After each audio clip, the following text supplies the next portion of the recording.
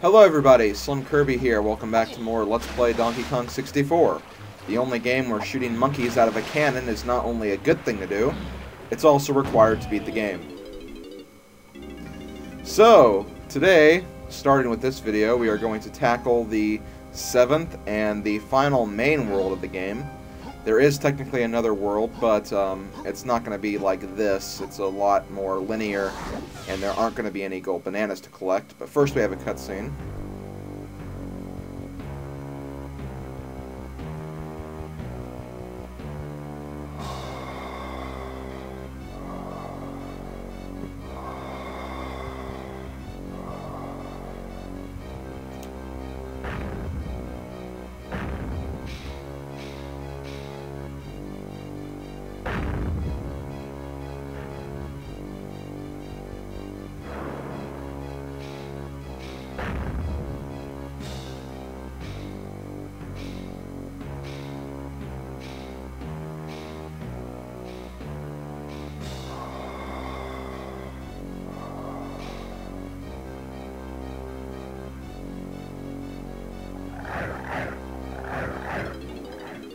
Holy crap, that claptrap was huge. Okay, so here we have Creepy Castle. If you can't tell from just that little uh, camera panning alone, this is a very, very, very big level. it's going to take a while before we get everything, especially since we're going to be getting all the normal bananas in addition to the golden bananas. So the first thing I'm actually going to do in this level is I'm actually going to just, you know, walk around the level, kind of give you a, a, feel for how big this level is and where everything is. And then that way I can also, you know, activate all the banana ports and stuff, so our navigation is a lot easier. So that is probably what I'm going to be doing first. Uh, before I do anything, I am going to go ahead and get this barrel blasting course out of the way. And wow, once again I missed immediately. Holy crap. I did that in the Crystal Caves barrel blasting course too. Okay, let's not try to fail this time. Um, if I remember correctly, this course is actually fairly linear. There aren't really many changing paths or anything. They kind of, you know, take you in the right direction of where you're supposed to go. And I don't think there are any normal bananas in this course either. I could be wrong, and I could just be forgetting about some of them, but I'm pretty sure there aren't. But yeah, it's a very fairly simple course. It shouldn't give you very much trouble at all. And I think I'm almost done with it already.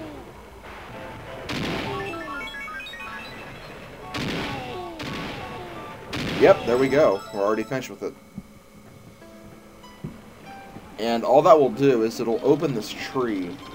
However, we can't do anything inside this tree just yet because we actually need a Funky's upgrade for this level before we can do that. Um, Funky's upgrade, while it doesn't seem like it's a very useful upgrade, it is required because, um, I'll just go ahead and say it, it's actually a sniper mode. And uh, with the sniper mode, you can hit switches from afar, and they basically use that so that there are some switches you can't hit close up, and you have to, you know, shoot from afar to actually get some of the gold bananas, which is kind of annoying, but that's what they want you to do to play this. Okay, so here's Banana Port 1, or one of the first Banana Ports. Um, in here, I'll just go ahead and get this out of the way. And yes, we have chunky bananas in here. I'll just come back here later with chunky. The reason why I'm in here is there's actually, um, actually in here.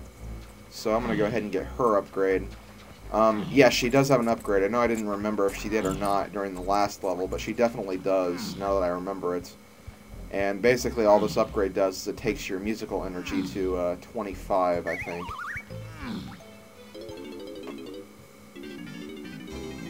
So I'm going to go ahead and purchase that. Upgrade 2. It's technically the third upgrade, though. I don't know how they messed that up.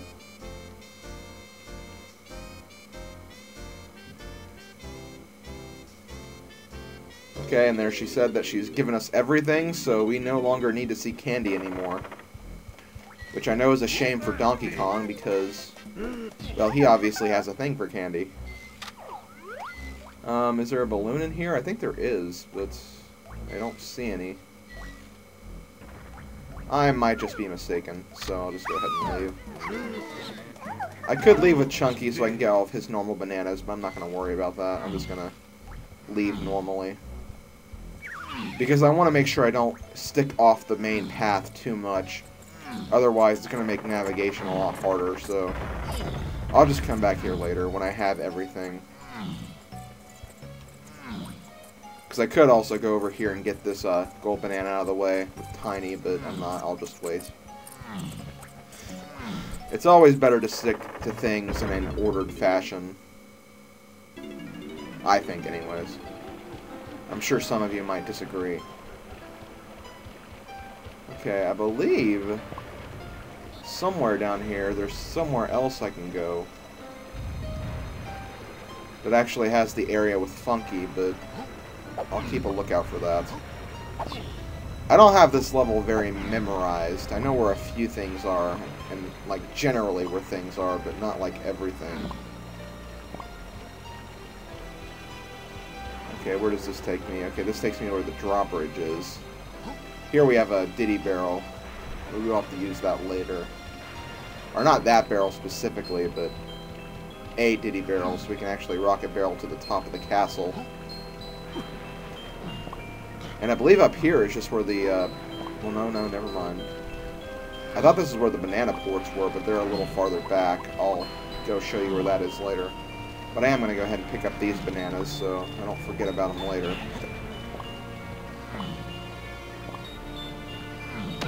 But yeah, as you can see, like, just, like, 45 of DK's normal bananas are stranded around this path. It might even be more than that. Holy crap, it is. It's 50, actually. Oh crap, I missed one. Oh well, I'll just grab it and then jump back. Okay, yeah, 50 of DK's bananas were actually in that one linear path, so we took care of that pretty easily. Yeah, pretty easily. I'm just going to go ahead and fall back down. And whoa, I actually got lucky. And then I didn't get lucky and I died. Okay, never mind then. Okay, so now I think I'm going to look for fun... I almost died. Uh, now I'm going to look for uh, Funky so I can get his upgrade and get it out of the way. Not really sure where it is, but I'll find it, I'm sure. Actually, while I'm here, I'll, I'll go ahead and activate the banana ports, because I believe they're just right up here. But yeah, uh, banana ports 1 through 5 are just located on this little strip right here. Or at least one of their variations. You'll have to, like, climb up throughout the level to find the other banana ports, but... That's kind of the main hub of the banana ports right there. Okay, so now I'm going to jump down here, because there is a door down here. Uh, not right here, obviously, but somewhere around here. Oh, okay, right here. Never mind. And in here is actually where we'll find Funky and all the other stuff you can do in this level.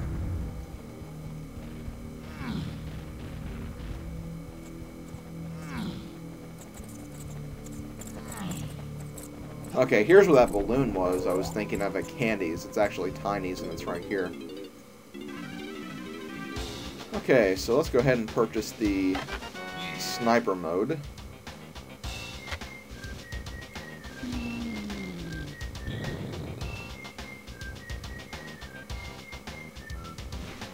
So I basically hit C right to zoom in on your crosshair, and then you press C left to zoom out if you're zoomed in.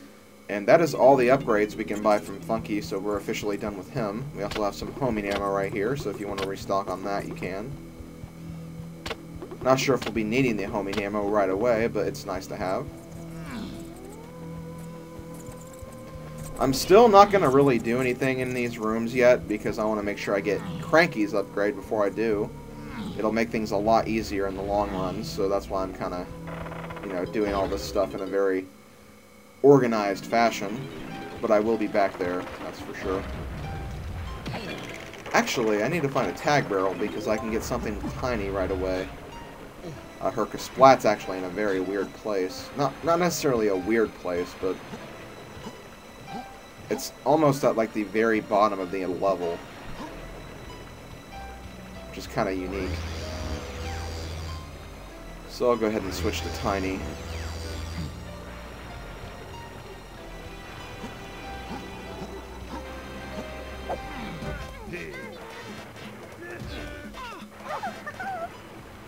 And wow, I've been recording for 10 minutes already.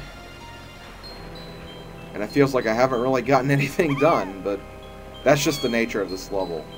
That really is the nature of this level. This level is a very, very, very long level to work with. Okay, now I need to go this way. I probably should have used the banana port. I'm not really sure why I'm doing this. And with Tiny, you can skip those little platforms, which is nice. You see, that's why she's helpful, because the Ponytail Twirl really does help you get across some areas very easily, but... I just really don't like when she makes that whee sound whenever you use it.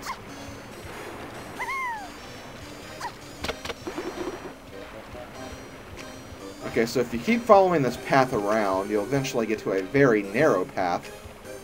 And at the very end of the narrow path is her Kasplat, which you have to fly over to. So, fly over to it and then take it out. And I believe that is her last blueprint of the entire game. So once we take that blueprint in, we'll actually be done with her entire row of uh, blueprint pieces. Of course, though, I'm not going to do that right now. So now we're actually going to climb the rest of the way up the castle because I believe that the rest of the bananas that lead to the top are actually Tiny's bananas, so it's best that we actually use her to climb up there just so we can get those out of the way. And then we can start working our way down or working our way up. It really doesn't matter, but you can do either or and pretty much get away with it. And that's yeah, that's usually how I tackle this level, and I don't tackle it by falling off. Although I do anyways. Stupidly fall off like that. Come on, climb the ladder, please. Just don't be difficult. I don't want you to be difficult, so why are you being difficult? I don't, I'll never get that. Okay, I don't even know where I am right now. Okay, this is weird. I don't remember this part at all. Okay, this is where the uh, tree is, the Donkey Kong pad. There should be a, okay, there's a ladder right here, okay. For a minute, I had no idea where I was. Holy crap. Okay, I'll just go ahead and warp to Banana Port 2. That'll make things a lot easier. Besides, this is actually where I was, where I stopped with Donkey Kong, so... That was actually a good place to start. And we're just going to go around and we're going to see all the different things you have to collect. Oh, and we also have Cranky right here too, so I'll go ahead and get that move out of the way. And there's also Banana Port 3. So Cranky's move for this level is once again a move that all the Kongs have. It is actually another upgrade to the Simian Slam. It's the Super Duper Simian Slam. This Simian Slam can actually hit red buttons, not just green and blue ones. And we will have to use this to get through the level because there are several places where you need to hit a red switch, so... It's kind of a lame upgrade, but I guess they couldn't think of anything else. And did I really just do that? Did I really, really just do that? I seriously must be an idiot or something. I really hate when you fall off this castle because, I mean, it's not that much of a chore to get back up to where you were, but it's still annoying because, I mean, I, I especially imagine if you're, like, doing a speed run of this game, or not really a speed run, but a, you know, kind of a quick playthrough where you're trying to see how fast you can get through the game. Which, I mean, I guess that is technically a speed run, but, you know, less emphasis on the professionalism of a speed run. And it's just really tedious to get back up, and you're always like, I fell off again. It's very, very annoying. In fact, while I'm actually climbing up here, I guess I'll um, tell some stories, I guess. Uh, this is actually a fairly recent story. Um, I really don't know when this video is actually going to go up. It might be like a week after I've done this, or it might be like two weeks after I've done this. But a little while ago, I actually played through this game again, like the whole game, like while this Let's Play was going on. Uh, that's how I kind of remember some of the things you have to do in this level so well, and where like some of the things are. So like I played through the entire game, like from start to finish, and I actually, you know, tried to do it as fast as I could. And I actually beat, like, uh, my top time for this game. Because um, I, I like to keep my files after I beat them. And whenever I want to make a new file, I usually delete the file that has the worst time. So I can, you know, keep my best files around. And, um, yeah, my newest file actually beat my top time. Um, I think my top time was, um, 13 minutes, or not 13 minutes, 13 hours, and uh, I think it was like 27 minutes, I really don't remember off the top of my head. Uh, my new time was actually 10 hours and uh, 58 minutes, which is a lot better. That's like two and a half hours better than my best time. I don't know how I was like that much better, I think it was just because, like, uh, you know, I memorized some speedrun techniques and I was able to use them a little more effectively. And I also didn't fail very much during some of the harder portions of the game, which really actually helped out. So yeah, um, I did that run recently, and uh, yeah, my time was 10.52.